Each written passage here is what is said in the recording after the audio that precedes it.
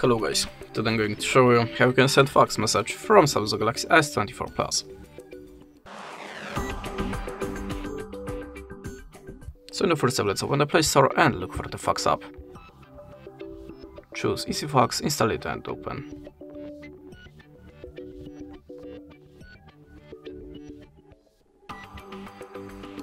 To show again the free credits banner you have to restart the application.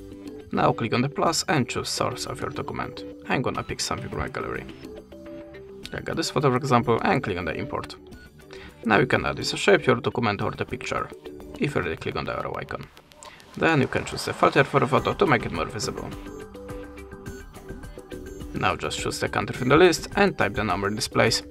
To send the message just click on this button. That's it. Thanks for watching, leave us a like or a comment and goodbye.